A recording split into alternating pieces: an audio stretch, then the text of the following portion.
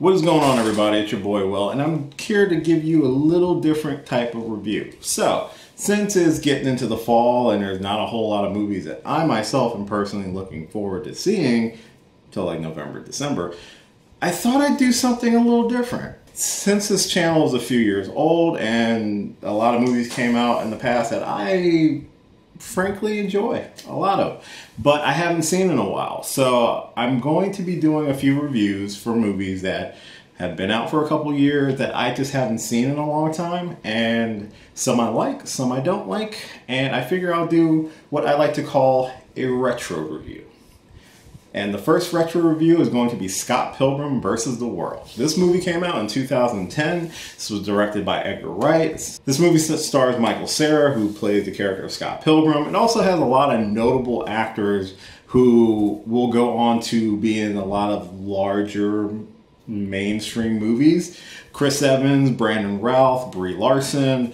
This story is basically a love story, so to speak.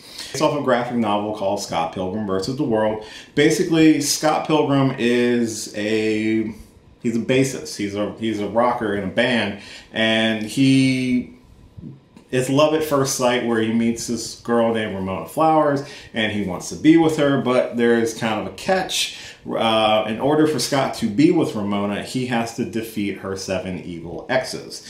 Um, it's very much inspired by a lot of classic games from the 1980s, 1990s. It uses a lot of those in its stylized world of Toronto, Canada that we see in the movie. It is probably one of my favorite movies. It, I haven't watched it in a while, so I watched it the other night, and I forgot how good, first off, the music is in the movie. It's so cool the way the movie is shot. This is done by Edgar Wright, and you can really feel his aesthetic in the movie. When I watched it, it started to remind me a lot of Baby Driver, which came out, I want to say, in 2016, 2017.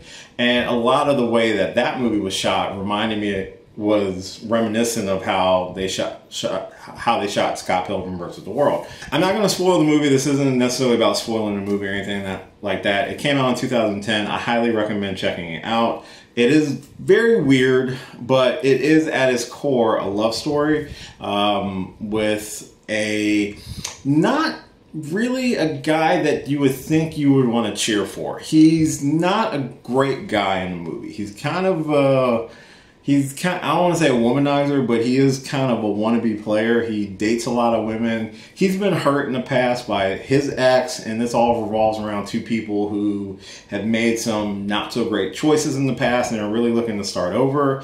And they happen to just be looking to start over with each other. You do by the end kind of want to see them succeed even though they've done some things in their past, you really want to see them succeed and be better people. And I think by the end of the movie, Scott does become a better person. My favorite character in the movie is actually his roommate, played by Kieran Culkin. Uh, his name is Wallace. He is gay. Uh, which they make it well known in the movie, and it is part of the humor, but it also is.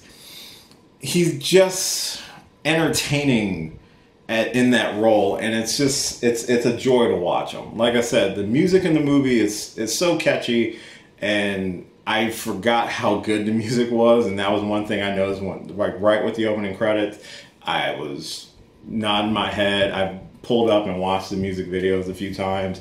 Um, it's just a it's a really fun, cool movie. It has a very different vibe and tone to it where it's all, it's almost two hours but it doesn't feel like two hours. It's a very quick movie. And something in this movie too that you wouldn't expect there's a lot of action. There's a lot of fights. Being that he has to battle these seven evil exes each battle between himself and another ex is actually very unique and different. They're very much inspired by classic video games, but it, they use a lot of that motif and a lot of the different pops of graphics on the screen, which really catches your eye. And just how it's shot, the characters are not necessarily one dimensional. They have, they're kind of, you know, they're they're really full fleshed out characters. And it's interesting to see some of the actors portraying them. Like I said, Chris Evans, Brandon Routh played two of the evil exes. Uh, Jason Schwartzman's in it. Kieran Culkin.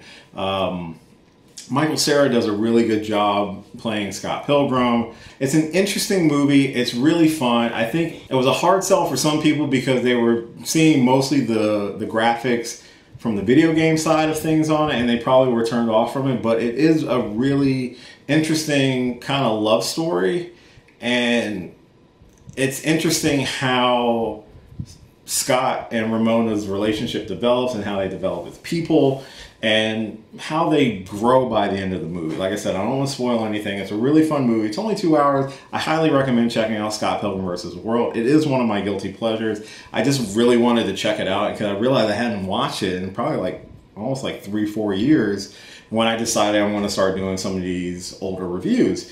And I just figured it would be a fun one to start with. So Scott Pilgrim vs. the World came out in 2010. I highly recommend watching it if you haven't watched it. If you like Edgar Wright as a director, I highly recommend it. I think it's one of his one of his best movies. It's very underrated. I think people get wrapped into Shaun of the Dead and Baby Driver. They kind of forget about Scott Pilgrim vs. the World. Scott Pilgrim vs. the World. Check it out. It is really good. It is a lot of fun. I'm sure it's very inexpensive to pick up. You can probably get it on videos on demand. Have you seen it? For the people who have seen it, what are your favorite parts of the movie? For people who haven't seen it, does this review kind of make you want to check it out? Maybe? Comment down below, let me know. Uh, I talk with my hands a lot. I know, it's in every video. But thank you so much for watching this first retro review video. I will be doing another one for Big Hero 6 because that's also another favorite of mine. And that should be coming up pretty soon. Um, let me know what other movies that you like that maybe I've seen and maybe I can do a review for or that I haven't seen and I should check out. Comment down below, let me know. As always, thanks for watching this and all my videos. All the Twitters and stuff are in the bottom and until next time, I will catch you later. Hey, thanks so much for watching this video and you made it all the way to the end. Aren't you special? If you did like this video, if you don't mind, give me a thumbs up on the description. As well, if you click on my face right over here, you can actually subscribe to the channel for more videos. And if you've got a few minutes, why don't you check out a video or two that are floating on the side right here. Later.